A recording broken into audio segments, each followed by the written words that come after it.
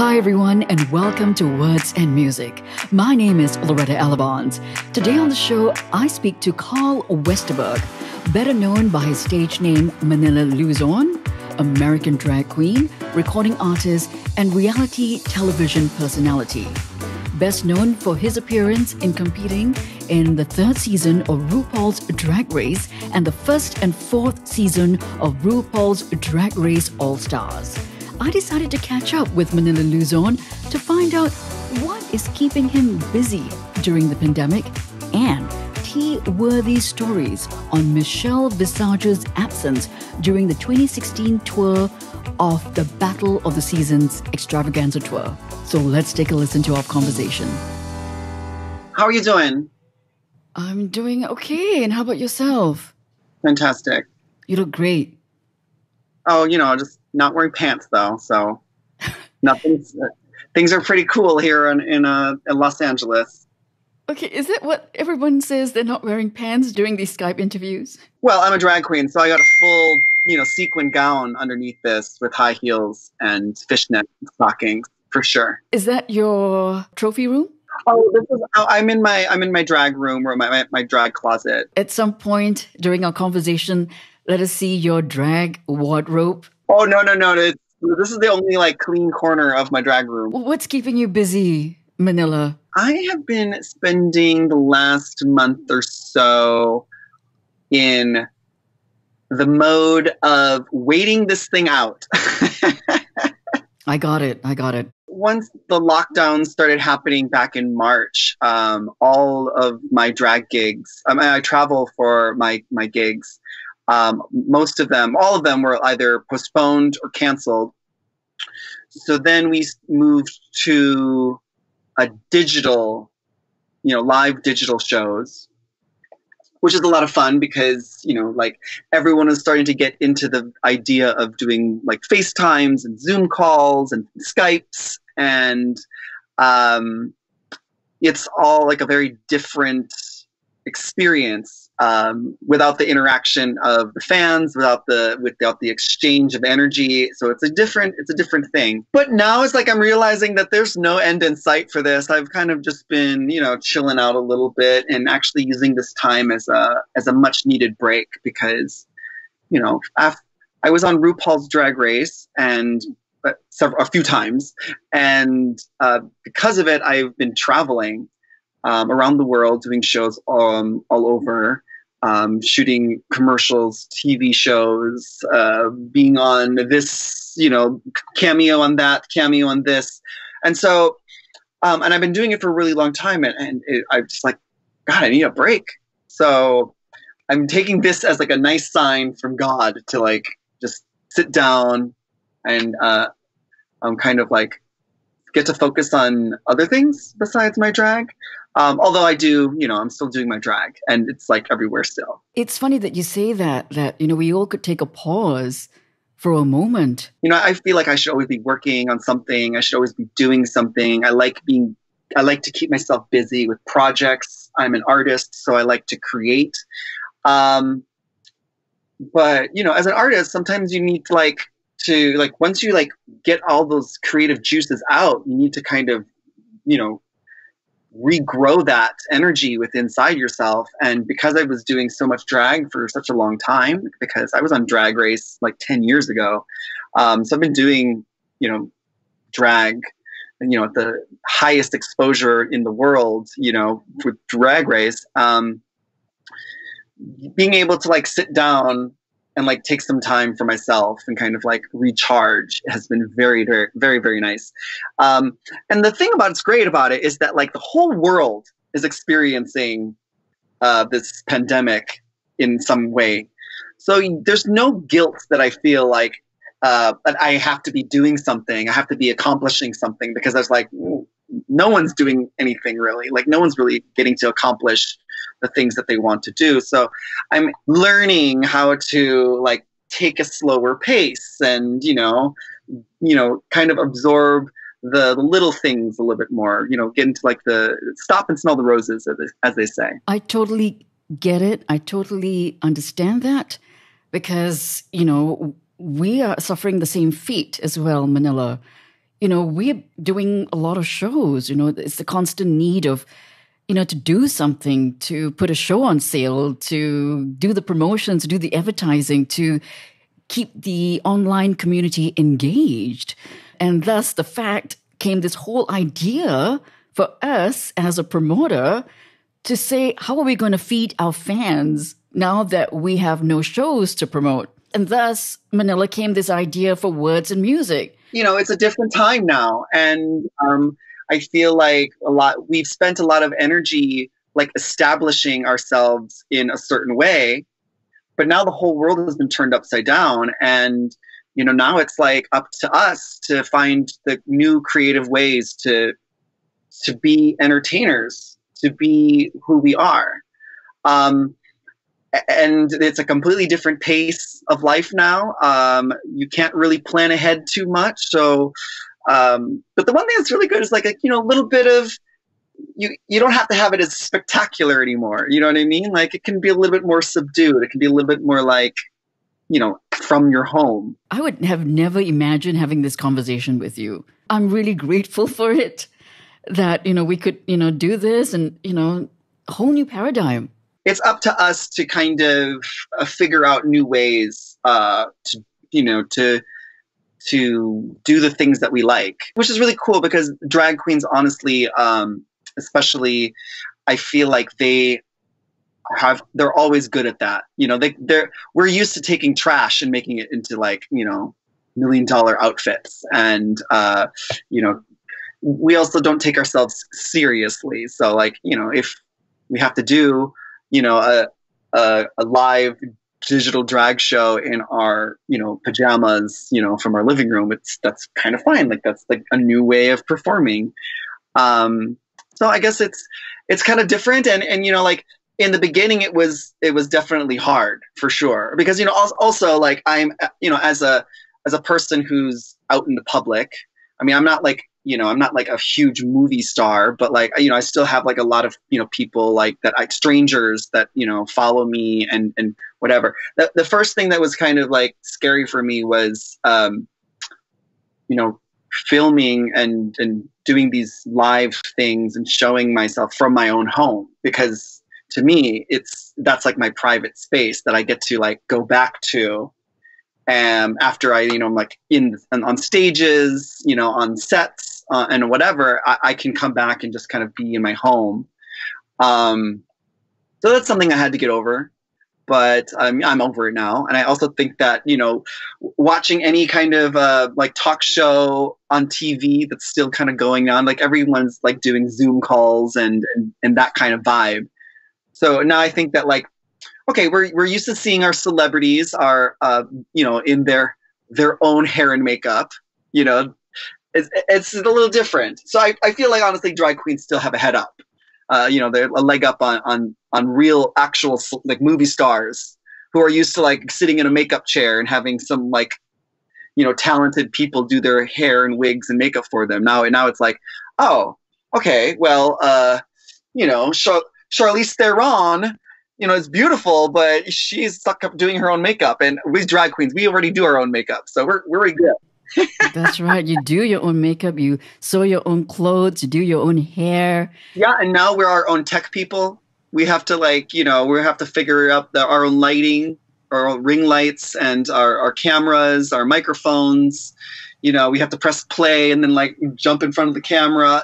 So it, it's a completely different experience but um, yeah uh, we drag queens. We're we're jack of all trades. Absolutely. Now with all this free time on your hand manila did you you know watch the um uh the all stars 5 oh my gosh yeah well i'm so happy that during this quarantine we've had just nonstop drag race um, yeah, I watched all of season 12. I watched all of All Stars 5. And now I'm currently watching Canada's Drag Race. Um, so um, we're like halfway through that. So like I'm I've been really, really enjoying it. It's like it's like the one thing that's kind of been like my savior throughout this. Like I always like, okay, every week I have Drag Race to look forward to. Um, but you know, it's you know, I'm we're halfway through Canada's Drag Race, so like after that, I don't know what we're gonna do. I'm gonna have to find something else to watch. I watched um, your season. You know, the All Stars four. I binge watched it. I oh yeah. I I really enjoyed it. I really enjoyed it so much, and we want to come to that a little bit later. What did you think of uh, Shea Coulee winning All Stars 5? I kind of suspected that Shea Coulee was going to do very well. Um, and I thought, yeah, for sure, like she was definitely the front runner coming in, I thought, because watching her on season nine, um, she was fantastic. And um, I knew that she has like the fashion. She's very um, she's very in tune with what's going on in the world. You know, like she's doing it much better than most drag queens like out there out there working. So I, I had a, I had a feeling. I was rooting for my my friend Jujubee the whole time though, uh, because you know I've I've known Jujubee and you know as like you know as an Asian drag queen, I'm I'm always I'm always supporting the Asian drag queens. Like I, I don't even care if they are terrible. I'm like they're already uh, you're Asian. Okay, you're at the top of my list. um, but yeah, I was I was definitely rooting for Jujubee just because you know we're we're close friends and we've been working together. Um, you know since you know she was on RuPaul's Drag Race season two, so. Um, I was rooting for for Jujubee as well. So I, I, was, but I was very happy when when Shea Coulee. I think she was well well deserved for the crown. Uh, Manila, I want to just go back and, and talk about your early days in drag, and when did you have an interest in and with drag? Well, to be honest, I've always loved playing dress up. Like I loved like Halloween. I loved the idea of like theater and like putting on costumes, and I love uh, performance, live performance. Um, so as a as a child, that was always something that kind like was part of like my play. You know, like that's how I would play. Would you know, like dress up and you know, kind of make believe, and then I would also I would also draw a lot because um, before I wanted to be do, do any of this, I wanted to be an artist. So I would always draw, and I used to like draw um, pictures of like costumes and, and fa- fabulous hair. And so, as a, even as a child, I would go into my my mom's walk-in closet downstairs, and I would like find because she threw she didn't throw anything away. Like she had stuff from the the 60s and 70s, all every every outfit like just jam packed in this place. And I would pull out her coats and her dresses, and I would try them on. And then like there was a there was a time that I was like the same size as my mother when she was like a petite young 20 something, you know? So that's kind of where it started. And then when I when I came out of the closet and was like, I'm like, okay, I'm gay now. How old were you when you came out from the closet? I came out around 20 years old. 20 years old. Um, I feel like at the time I felt like I had waited way too long to come out, um, and it was like time to come out. Um, but like looking back at it now, like I'm almost twice my age, twice my twice my age when I when I came out. So it's like okay, I guess I was ready when I was ready. So um, I came out, but it was a difficult. It was difficult for me when I when I first came out. So what I ended up doing was like, well, I guess now I don't have to like pretend, and I can you know I'm everyone knows I'm gay now, so no harm in wearing a a dress and a wig. So honestly, like that's when I first t- started taking drag very seriously. I came up with my name Manila Luzon mm-hmm. uh, to honor my mother's home home place, um, and uh, yeah, I kind of used drag as my creative way to kind of just like get myself into this like gay world or this like gay lifestyle in, in a way. And it, it really helped me kind of like come to terms with who i was. Um, I, I, grew up never really feeling like i was very attractive. Um, and so being able to you know put on like paint my face and, and change up my hair and you know, change the shape of my body even with corsets and padding it, it was something that was like very liberating. And then when I took it all off, I, I still felt beautiful. So um, drag really helped define who I was. So it's been something that I've been doing for a, such a long time. And uh, I owe a lot of my personality to the fact that I decided to, to do drag. That's wonderful. It's, it's very inspiring. So I just hope that, you know, other young people out there, or not even young people, you know, people who are still middle age and still, you know, afraid to, you know, admit or say, you know, come out and say things. So, you know, I hope this conversation inspires people not to be shameful or afraid. There's something very scary about just even the idea that your your family won't accept who you are and and or or the fact that like you have something wrong with you from what your family is ex- ex- expecting from you and it's and it can weigh a lot on you um, what i found is that yeah it might be hard for your family to accept in the beginning. Ultimately everyone in my family I, I just want them to be happy with who they are. Because like once you find out who you are like it suddenly every nothing really matters you know? Like i feel like it's something that's um this like aha moment when you are just like ah this is who i am with all of my flaws included you know? And then it's like oh okay so now that i have accepted and i'm acknowledging these parts of myself you know nothing can hurt me you know? No one can say oh you're gay or, or use any kind of derogatory term of that to me because i'm like yeah you're absolutely right. Call me whatever horrible thing you want to say to me we can bleep it out um, but like yeah i'm fine with that. I'm cool with that. You know you're i'm not hiding it.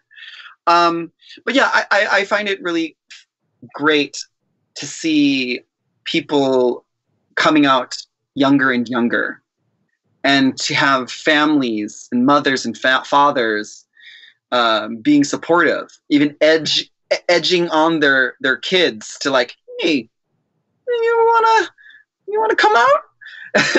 Before it was like, oh, if you saw that your kid was kind of gay, you would like, you know, you would yell at them and say, no, don't do that. And now it's like, oh, if you kind of start to suspect that your child is gay, you're like, hey, so um, we're gonna watch Drag Race sometime.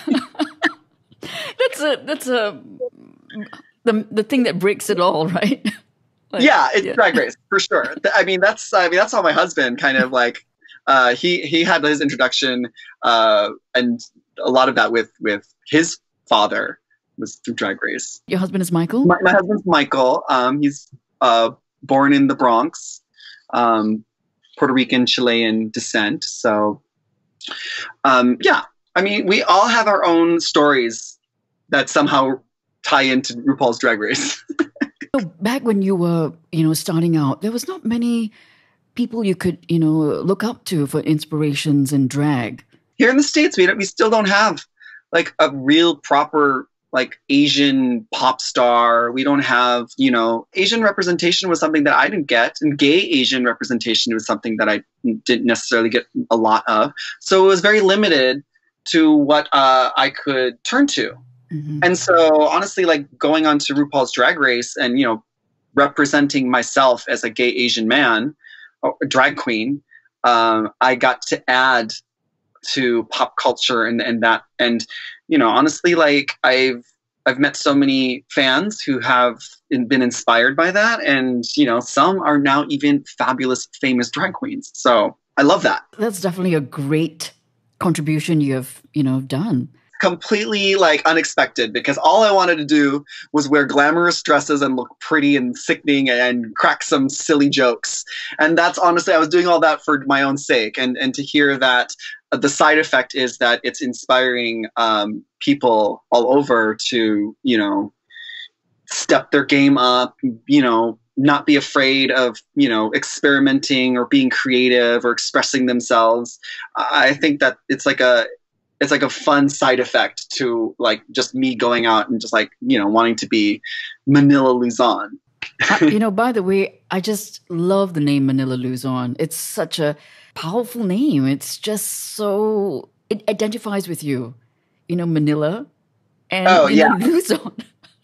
yeah, I, I, I know, I know, you know, Luzon is, you know, an island in the Philippines. So you know but i think the, the play of words and how you combine them together just makes it even you know it was so exotic well, if I'm naming myself after a city, if a geolo- uh, geographic location, I might as well just go full on. You know what I mean? So, uh, yeah, and, and it it has the same amount of syllables as Madonna. Manila has the same amount of syllables as Madonna. Okay. That's a good one. That's a good one. Uh, Manila, what's your story? How did you enter season three? How was the process like for you for RuPaul's Drag Race? Well, I always wanted to do drag. Mhm. You know, like you know when I came out, and then I moved out to New York City, and I and I wanted to pursue my drag there. Um, I started out in like a, the gay the gay clubs in Minnesota, where I'm from, and then I moved out to New York City, and it was a very different experience. You know, New York City is like uh, very small and compact, and you know, you, like the the clubs are really they're smaller. The drag shows were a lot smaller, so um, it was something that I didn't um, pursue professionally um, at first because you know, for me, getting in drag was like a hobby. I had I was working as a graphic designer in New York, and you know, even though I had a creative job, I was doing other people's work. So, and, you know, at the end, I would come home and then I would, you know, work on my costume or my look for some party that I would just attend and full drag and and just go out to like have a good time. And I would just keep doing that. Like maybe I'd go out and drag maybe like once a month in New York City, and then it started becoming a little bit more of a thing. Maybe like then it turned into like once a week, and um, then I started making friends with uh, drag queens in New York City, and you know like I started doing like a bar, a pageant at a bar, and um, you know started competing in like amateur shows and stuff like that. But um, it, it, it I wasn't really taking it very seriously, even though it's something that I really loved to do, and I had um, I had an an image in my mind that as an artist, I I just found it so satisfying to like create it and the, the part of putting it together and making my outfit and making my painting my face and styling my hair. And, and then the final product was me being in it. And then i would go get wasted in a club. I'd take a bunch of pictures and then I would like it all fall off. And then i would look look back at the pictures and i'd be like yeah that was a good uh, that was a fun time. And then rupaul's drag race came on tv and it changed the game. It, it changed how um, it kind of gave a, a purpose or, or, or, a specific reason to or, or, you know to do my drag. Um, so then i auditioned for season three and then i, I got on. And then it was like oh uh, okay. Um, and i'm very happy that i was able to get on season three because in the beginning it was it was a very different tv show than it is now. I think now it's like higher expectations bigger audiences like you know the bar has been raised. Um, and so you when you go to, when you go back into the show nowadays you have to be very very like you know you have to be, come in there with like full strategies and you know costumes and you know take out a loan so you could afford to get costumes custom made for you. Um, but yeah it was it was drag race that really kind of started my career. Up until that point i was like you know being a guest performer on you know some show in, in a in a small gay bar. But now i was going onto tv and you know doing a reality tv show that was about drag. So it was like i was a drag queen but i really wasn't like a working drag queen. So i kind of just was like able to kind of like try to figure it out because it's it's not just a like a drag pageant. It, it's a reality tv show. Yeah. so you know you have to kind of make good tv like what do i like when i watch reality tv you know like okay let me try you know being silly and falling over and you know getting into a fight with someone and uh, having a having a fun time doing it all with glitter and, and wigs. You mentioned about you know reality tv so there's you know there's the, the dancing element the makeup element a lot of drama within it is it a scripted show or unscripted show? It's a completely unscripted show. I mean, there are parts where like they'll give you like a script, like, oh, we're gonna do an, we're gonna do the skit, so you have to like learn some lines. But like, I don't know. It's it's reality TV, so it isn't a documentary about our lives as drag queens. It's kind of like if you think about it, it's like okay, it, you have to think of it as like a um, one of those shows where you have like a you know you have a bunch of athletes trying to like go over monkey bars and then they have to like try not to fall in the water and you know be a gladiator and you know like they have to do that kind of stuff. So the the television show definitely does kind of set the para- parameters that you have to kind of go through and you have to dodge these things and they they're throwing twists at you. So there are elements that have some control but like it's kind of random they don't know how we're going to react that's what makes it very interesting. So, so you don't know about in All Stars four when the four queens came back. You know, the eliminated queens returned. Am I right to say you didn't know that was going to happen? No, I didn't know it was going to happen. Um, I mean, you can always suspect things. You know, ha- having watched, you know, the show has been on the air now for over like like 12, 12 years now or mm-hmm, mm-hmm. years. Um, we've had like like 15 16 seasons or the spin-off shows. So we all kind of know that there's always the possibility of like oh someone could be brought back you know some you know there's like a twist someone gets disqualified some you know you have to do who knows what's what's going to go on. So yeah i think it's always kind of like a you know you never know what's going to happen. When you're in the werkroom how do you concentrate when you have cameras all around you? I mean is there how does that work? I mean you know you have to do your costumes you have to do your makeup you have to prepare for your skits you have to do your lip sync you know practice your lip sync battle right? The songs that you're going to lip sync to. How does it work when you have a camera with a group i mean a camera crew? Well, it actually makes it a lot easier because, you know, we're all drag queens and we love attention. So you point a camera at a drag queen, she's going to give you a show that's just how it works. I and I, I don't know if it's if it's true for everyone, like when you put a camera in front of them, but like for us drag queens, that's that's when we turn on. And when the camera guy says, "Okay, I'm to go on my break," we just stop talking. it's not hard to understand. I mean, when you have a camera in front, you're to like ham it up for the camera. Um, you won't you wouldn't usually get you only get into fights with your other drag queens if there's a camera pointed at you. There's been times when you kind of start getting into a heated, heated argument with another queen, and you look over and you realize that the cameraman is not pointed at you, and you have to be, hey, we're about to fight over here. Why don't you like look at us for a while? I mean, it's kind of one of those things. You know, like as as you do it, and I've and I've done it several times now because I was on three seasons of it. Um, you, you forget that the camera's there when you're doing it but you also never forget the camera's there because you know obviously like you know when i watch it back i want to have like a good angle. So you, you always know where to look right? And you enjoy it. You seem just to enjoy it you know all the time. So it's your third time right? Yeah that's where you that's where you get to shine. That's where you get to be who you ever whoever you are. And it's crazy. It, it, it heightens emotions especially too. So like when you feel like when you feel like screaming, you scream. When you feel like crying, you you almost feel like, yeah, well, I'm feeling these emotions, and if I hold them in, no one watching is going to understand what I'm going through. So let me just let it out. So when I'm having a good time, I'm having a good time. When I'm sitting there crying because I, I feel bad, it's because I'm I feel bad. Um, and when you're getting into a fight with someone, it's because you you want to just get that out. I mean, you could get all zen and be like, okay, it's not going to bother me. You know, the episode that you were eliminated, um, you had your husband perform in drag, and both of you performed um, a Judy Garland song.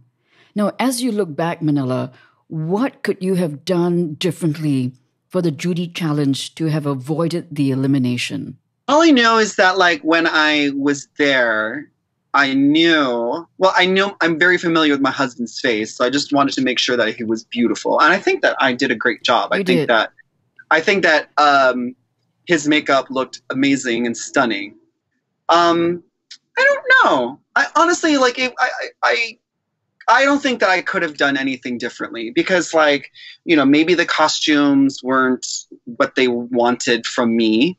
Um, but it was at that point it was too late. I was already there, already brought the costumes, so I couldn't really, you know, do anything about it. It's not like I could just run out to a, a store and, and go shopping for the for the both of us to get a cuter outfit. Um, but no, I, I mean, I thought that our concept was was good, and I think that our presentation was great, and you know, I think that when we did our little Judy dance. It was a, a fun time, and I think that um, I think that in in my experience, I think that what I was portraying was was our truth. Um, getting having people get to see me and my husband interact was very special for me. One of the things that having your husband come into the episode into the werkroom with you is that you know when we're filming this show, we're like sequestered. They take away your phones, your laptops, um, and anything that you do is just drag race. You know, like so for that for the time that you're filming the season, the only thing you're thinking about is RuPaul's Drag Race. So to have my husband come back, it was a lot of fun, but also like what opened up the window, and I all of a sudden realized that, oh yeah, like I'm in a bubble right now and there's a whole world that's happening outside and that once this bubble's over i get to go back out into that world and be you know like be myself in the real world without being in this confined you know like on the on the sound stage or being sequestered in my hotel with the same people. So i think that a little bit of my concentration and focus was, um, you know, you know, I was not as focused as much, but I don't know. I, couldn't have asked for uh, a better way to go out, um, because it, well, it, especially because like my husband was actually there in in the space, so that like I didn't have to pack up all my stuff alone. He actually he he was very helpful and he did all the packing while I kind of was just like, I can't believe this happened. Oh my gosh. Did you expect somehow, you know, during that season that you would have been brought back somehow a twist? I mean, did you think at the back of your mind what was going through RuPaul's head and maybe because I think RuPaul was kind of surprised that, you know, you were eliminated. So was there did you think there could be a slight chance or a possibility I didn't think so because we already had the the episode where we brought the queens back. So if I was to be brought back, I would have had to be kicked off the show a lot sooner. And it got to that point where I knew that if I ever landed in the bottom, that I knew going into this into the into the season of All Stars as a as a queen who already did a season of All Stars because I was on the first season of All Stars with Latrice Royale. I already knew coming in that I was a larger threat and a, and a bigger target for queens, you know? Um, on season one of All Stars, it was still the judges that sent us home. But now the, the format had changed where we send each other home.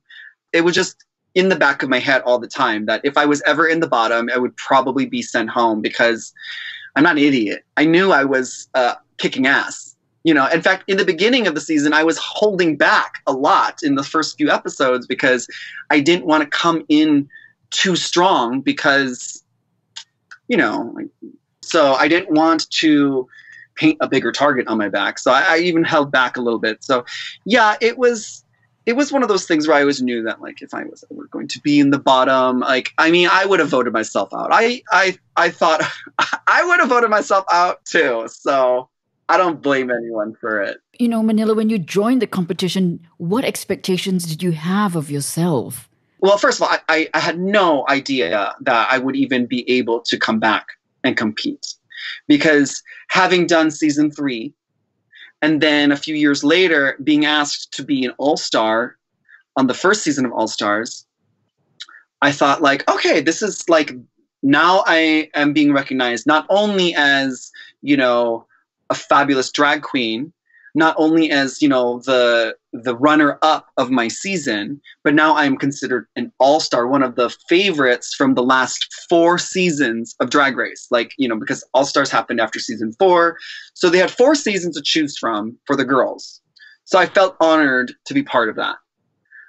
so then a few years later, like you know, it took a few more seasons before they did All Stars two. You know, and then they started doing an All Star season kind of like every year. So I don't. We have so many drag queens that have been on the show. Some of them are amazing, and there are some queens that I'm just dying to see more of. Um, so when I was asked to be back on the show, I I thought, would, did everyone else say no? Like, why are you asking me? Like, I already was an all star. I'm fine. So uh, yeah, I guess like when I go, went back, enough time had passed between when I was first on my seasons um, because season three and All Stars happened fairly like, fairly close to each other, and now several years have passed.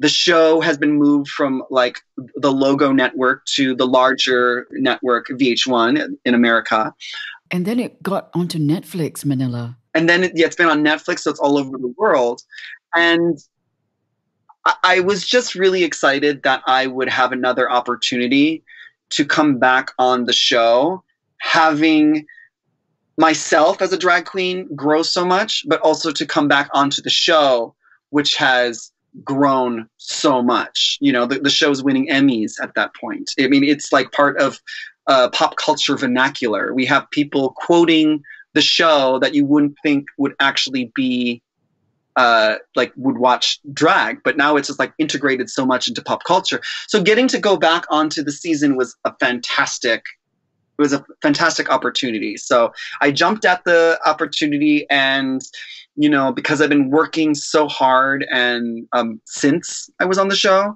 I had a lot to a lot of growth to show um, with my with my style, um, and also had, had saved up a lot of more money, so I had a little bit more of a budget. And oh, honey, I spent a fortune on my on my costumes and my wigs and my jewelry, and even my boy clothes were expensive. So I just wanted to put my best foot forward because I knew that this opportunity doesn't come very often. I, how many people can say lightning strike strikes three times? And then also having lost the show two times before, like there was no, you know, the pressure's off, you know, because I, I, I, feel like um, I'm doing big things and I haven't even won the show. You know, it doesn't it doesn't matter if you win the show. So that's kind of like where I came from. Like if I got kicked off first, I was gonna make it a, a memorable experience, and I was gonna do like the most I could in the given time that I had.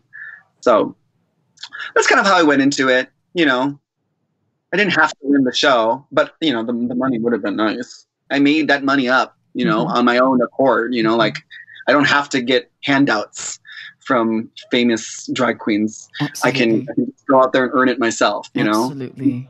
You and earned honestly, it. You, you've earned it. You know, Manila, with all your amazing talent. You know, you you got a comedy side. I have to say. So, is comedy something you're gonna go into? You think?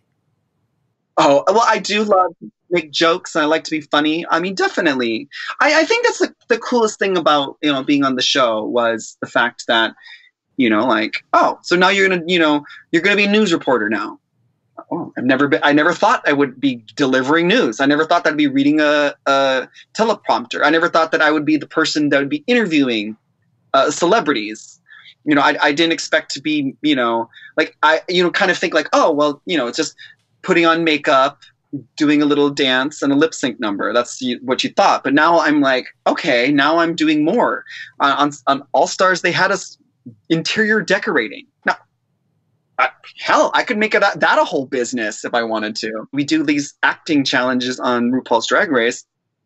And now I'm auditioning for for roles on TV, and I'm you know I'm doing a guest spot on on General Hospital, soap opera, and I'm doing I'm doing a cameo on AJ and the Queen on Netflix with RuPaul. Uh, it, it's a lot of it's a lot of fun. Like, and I'm doing things that I, I I never thought that I would ever get to do, but because of RuPaul's Drag Race, I get to do it. So, I mean, who knows what other opportunities come along? You know kind of cool. Definitely. And you got a podcast now with Latrice Royale. Yes, I got a podcast now. And I never thought ever that I would, I don't even listen to podcasts. And people are saying, hey, so we want you to do a podcast. It's actually Alaska and Willam. Um, they are, you know, they're, they're starting their own podcast, you know, company, umbrella company, and and um, through the success of their own two podcasts, like now we're branching out, and so we're you know creating more jobs for the sisters. And it's easy for me, like to go and you know recap a, an episode of Drag Race. You know, I was the host of Pit Stop last year um, for season 11. So like this is like this is like an easy thing to do. How did you team up with Latrice Royale on this uh, podcast? Can you tell us about it? Well, I mean, Latrice and I have always been close because when we were on All Stars the first season, when they made us choose partners, and Latrice and I were partners, and that honestly was like the greatest thing that I got out of the first season of All Stars was forging this friendship with with someone who's very different from me, but is also very similar to me. You know, and, and we have totally different lives, but we just, you know, we just can come together and have a good old time. We had um, collaborated on a few songs together. We've we've uh, we after uh, we did our song "The Chop," um, which our podcast is named after, and then um, on on my latest um, record, um, "Rules," which came out after All Stars, she was on my she was featured on my song The Chop. And then like right, you know, like last month I, I had uh, dropped the video for that, which was like a fully animated video, which took over a year to make. Mm-hmm. So like, you know, it's just like my little um, um, track with her. So yeah, I, I, I love working with her, and you know, we, we were always FaceTiming and kikiing anyway, so we might as well like put a microphone, record it, and make some money. and you know, you mentioned about that animated music video. It was just phenomenal. I enjoyed it. Uh, robbed, right? It was a fun experience because I didn't have to get in drag for, to shoot this music video because someone just drew the whole thing, you know? Uh, uh, it took a long time to do it, but, you know, like with Latrice and um, like she lives on the other side of the country. She lives in Florida. I'm, I'm in Los Angeles in California. Um, you know, and we're busy.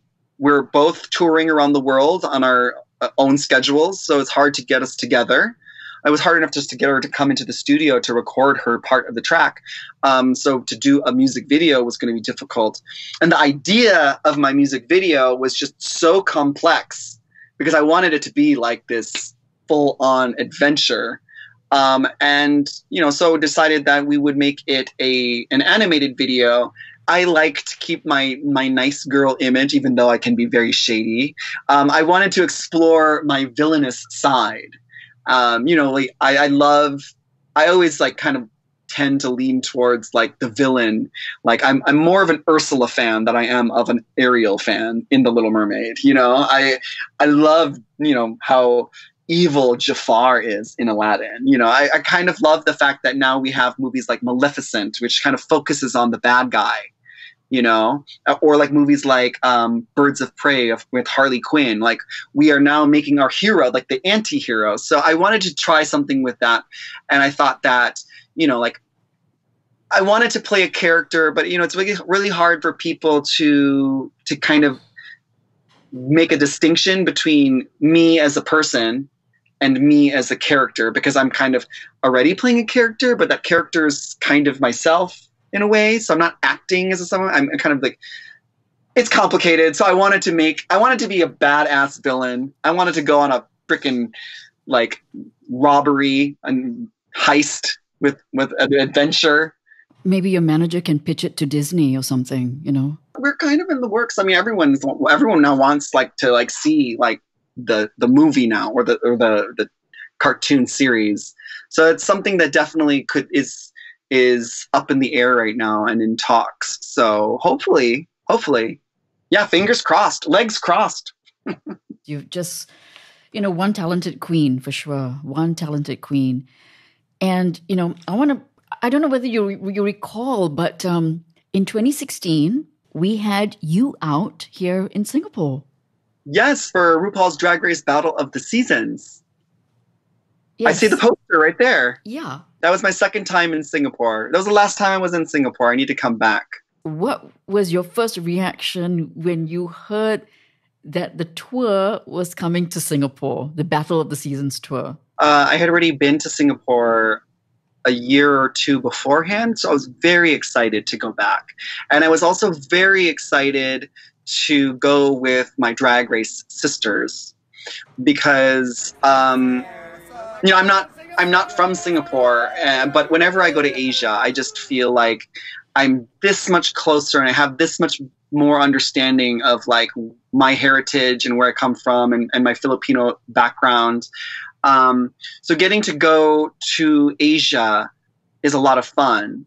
And I felt really, I, I felt really honored to be able to share that with my drag race sisters because I know most of them hadn't been there.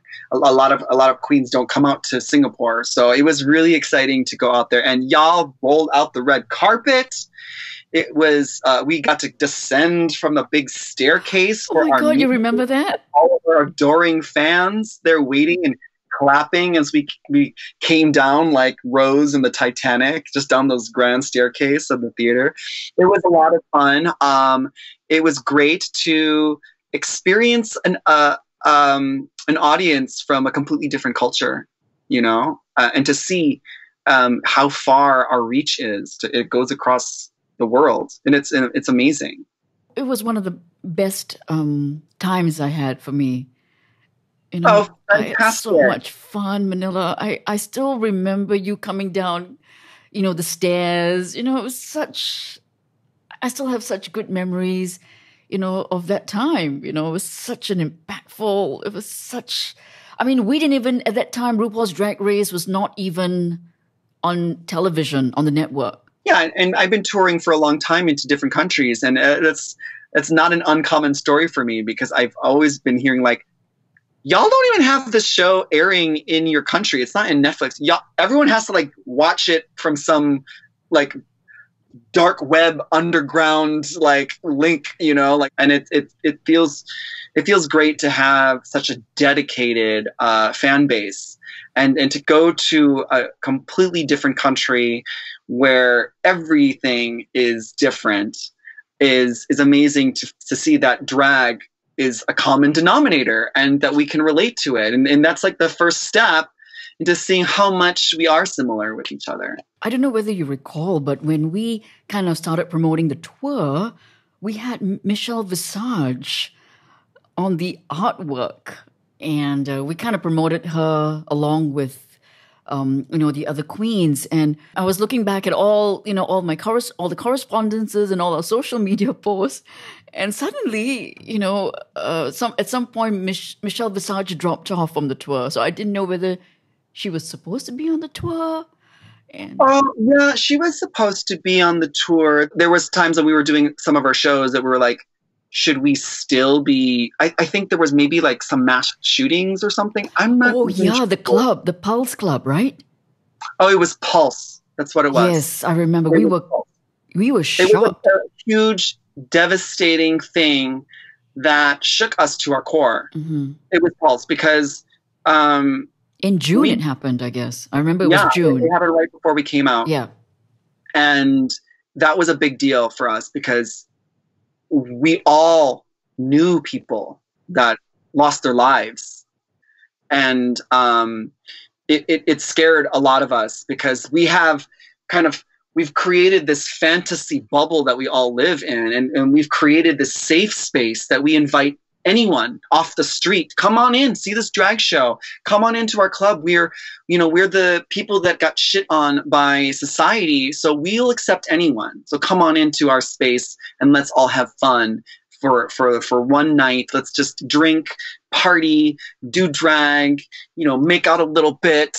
Um, and then this disaster happened and all of a sudden like we get scared I think that's I think that's kind of what um, it, it, kind of broke up the tour a little bit, and it, we almost didn't even do the show. It was just so hard for us to process, and we didn't know what to do, and we didn't know if we could celebrate and we could party anymore, you know. And it was it was that it was that it, it, just shook us all to our, our center and, and it, it, made us reevaluate a lot of things. And I think that's really when, like, I think when Michelle Visage uh, stopped hosting the tour.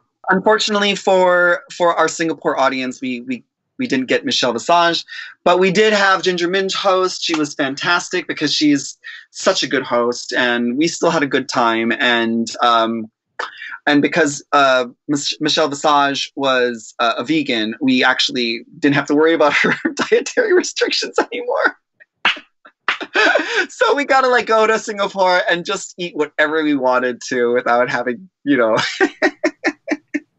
Michelle Visage's strict a diet to worry about. And then, you know, after you know, after we broke the news that Michelle couldn't make it for the tour, we had to break the news of some of Queens falling off the tour. Um, you know, Alaska couldn't come, and um, Pandora. I think Pandora also did not make it. And it's always a problem. There's like, I think someone's passport was expiring and it didn't allow enough time for Singapore. They, you, you guys are very strict out there. Six months. You have, you have a beautiful country, so you guys want to make sure that no one's trying to trying to sneak in. Um, I think there was some passport issues, and that's just like stuff that we, you know, since it was our first time taking the tour out to Singapore, you know, there's a lot of things that we we we don't plan for or, or, think of. And you know we're all busy queens. And you know like we we try really hard to bring on a put a good show on it. And of course you know like also the tours we, the the queens we were alternating different cities like the cast would change a little bit. So it was for us it was just like an unfortunate uh, uh, event when we came out to Singapore. But for me, it made me like try harder to make up for the fact that you didn't get your Michelle Visage or your Alaska or Thank your you, Manila. Thank you. It really paid off because that was my first introduction to, you know, RuPaul's Drag Race of bringing a tour. Before that, oh, I think yeah. I, I think before that only Adore had a small show in a club. I had come out there like a couple years ahead. Um, I was in that club that's like you know the Louis Vuitton store that's in the water? Right. What's the, the club that's right next uh, to it? Okay, that was um, it was used to be known as Avalon.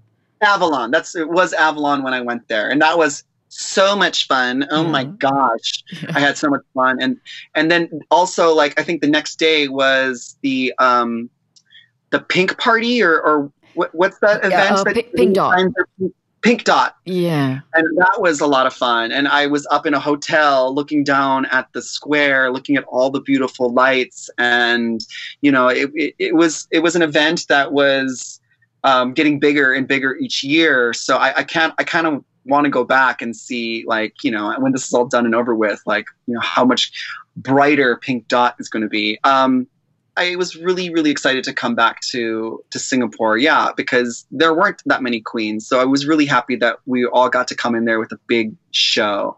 And now I, I think I think Werq the World tour comes through there. Mm-hmm. Um, so now it's like you know it's like old, but like the to be the first, yeah, it's it's it's really fun to to kind of pave the way.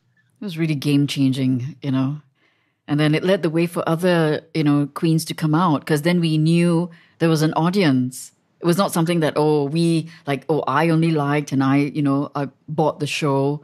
So you know Manila it was just I was I'm grateful for that opportunity.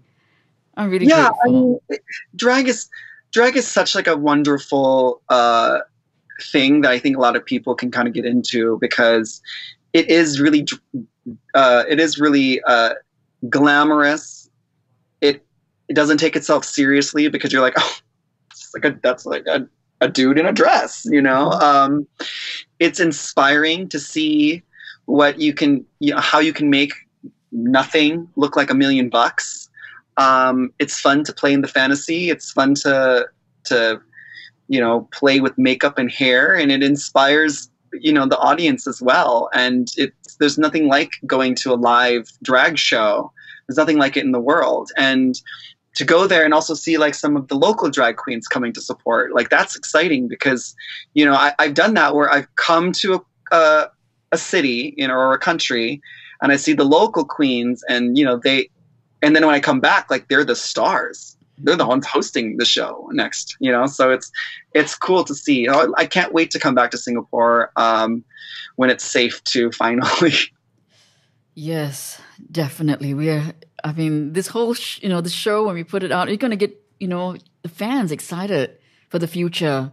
Yeah, and until then, you know, like we we're still doing, you know, drag shows. It's just a little different. It's just like on your phone. It's on your computer. You're streaming it live now. It's it's a it's a different experience, but um, it's it's still a great experience because you know like drag queens we don't have the stage anymore at the bar or the club so now our homes are our stage and we we as drag queens we're not just you know putting on a wig and stepping on stage no we're putting on a wig and making backdrops in our houses.